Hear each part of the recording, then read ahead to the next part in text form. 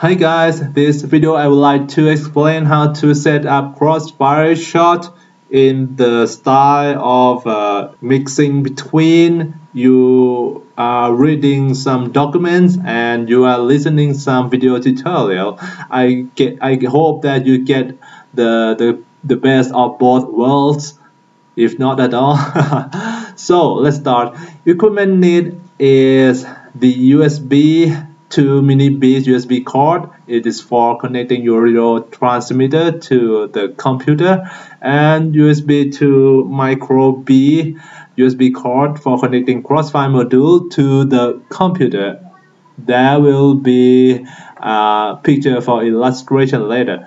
The programs you need is the first is OpenTX program, you will need version 2.3.5 or newer version for configuring your radio transmitter and then the TBS Agent X program for configuring your Crossfire module and other TBS products. The file and firmware needed are first TBS nightly build firmware. It is for updating your radio transmitter and the SD card file and then um, let's move on you can read the details while I speaking.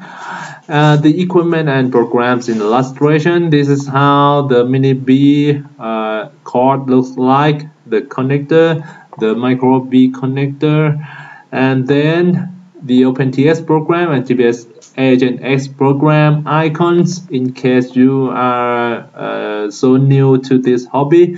The OpenTX program icon look like this and TBS Agent X program look like this and the program itself look like this. For OpenTX and for TBS Agent X it is like this.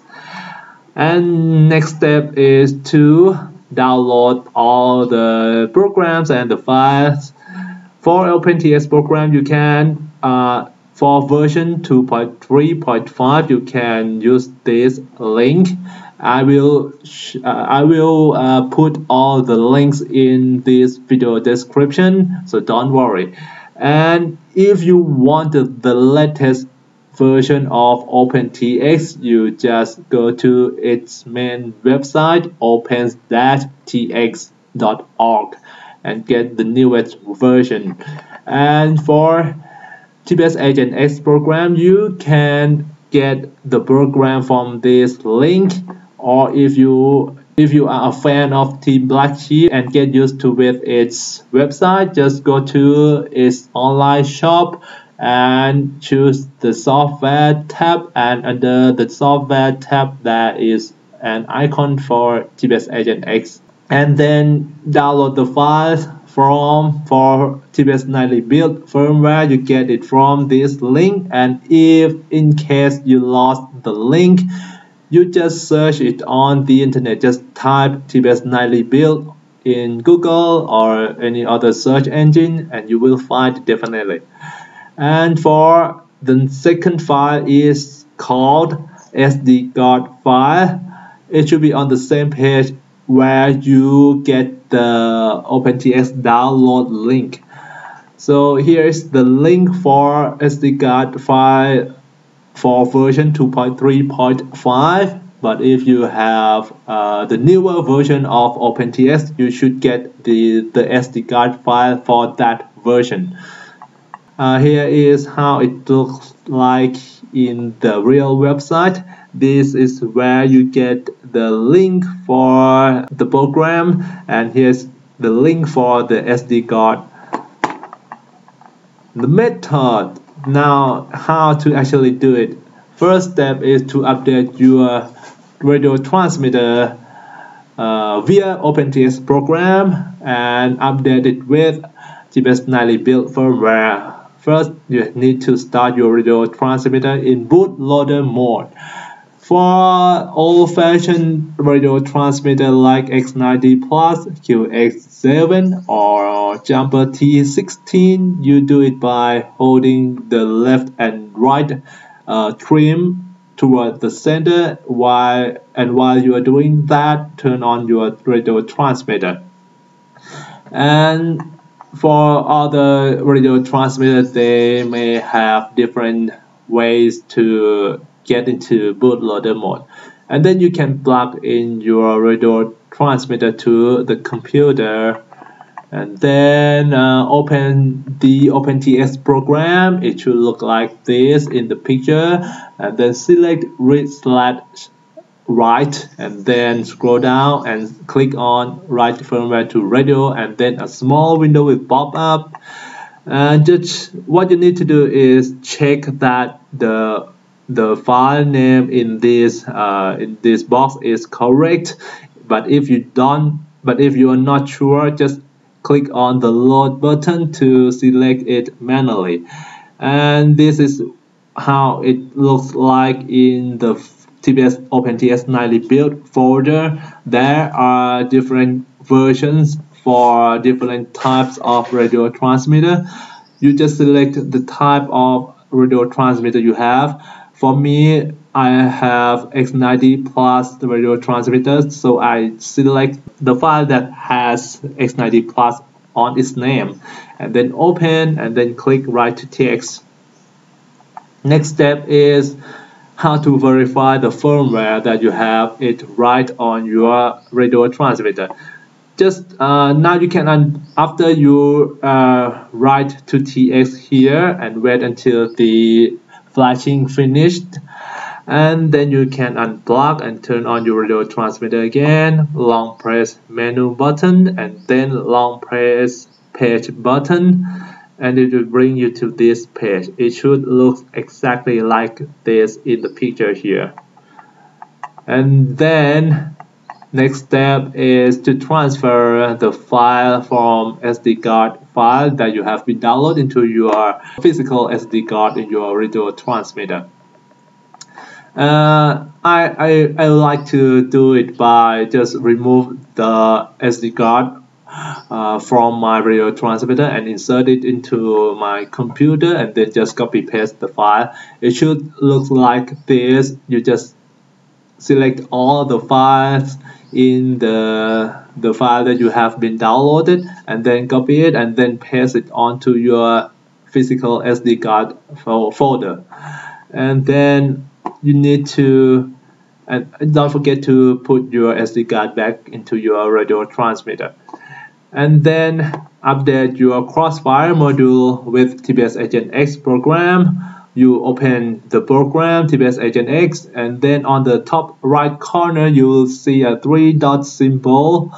And click on it and there will be an option to include beta firmware. Just check that box. And then you connect the crossfire module to the computer. You don't even need to turn on your radio transmitter at this step. And after the module is detected, there will be a green dot on the top right corner of uh, the module box, like here in the picture. And then you click manage here. And then uh, click on the firmware button and it will show you the list of available firmware for updating. Uh, you should select the latest firmware that is not beta. Beta firmware is the firmware that is still being tested, is not stable yet, and uh, you just click on the update button on the right column here. And what you see here is I have already updated my module to 3.28 version. So there is a current uh, current sign here and the update button becomes refresh button and set up the module set up the model for crossfire in your radio transmitter and uh, actually, I, I, when I do this step, I found that I have done this step already. So it might be for the person who is new to Crossfire, you need to do this step. Uh, just click on the menu button once and then click on the uh, not click hit on the menu button on your radio transmitter and then hit the page button once and then scroll down to uh, until you find internal RF mode set it to off and external RF mode set it to CRSF which stand for crossfire. Then you can verify that you have crossfire shot by uh, if you have the sorry if you have the micro TX module crossfire micro TX module. You just open your radio transmitter and long press menu button and and press page button once and then choose crossfire in this brackets. And then it will bring you to this page and you just activate the crossfire micro tx lua script. And then scroll down under the crossfire micro tx configuration and scroll down into the last uh, the last line and you will see crossfire shot like in this picture. But if you have a full size crossfire module on the on the LED screen on the back of your radio transmitter and the module there there is a RC input which should say crossfire shot already. So next step is that once you turn on your radio transmitter again you may get up to two warnings. The first warning is the test build warning. It is because the, the TBS nightly build is still being a test firmware, being a testing firmware is not stable yet. So uh, there's no solution to eliminate this warning. I mean, it's not stable doesn't mean that it's, it's really not stable, but it just not being approved by, I don't know, someone, OpenTX guys. So the next warning is SD card warning and uh, it can be fixed. Uh, you just find the opentx.sd card file in your physical SD card and then open the file. You will see uh, a text. Just correct the two digits, the last two digits of that text to match with uh, the warning so the warning say you it expected version uh, blah blah blah 0018 so you just correct the text in the file to be 0018 just that and hit save and then uh, put your SD card into your radio transmit again. And this warning will be disappeared. And then you need to rebind the receiver. Uh, actually binding procedure for TBS Crossfire is pretty easy. You don't have to press any bind button on the receiver at all.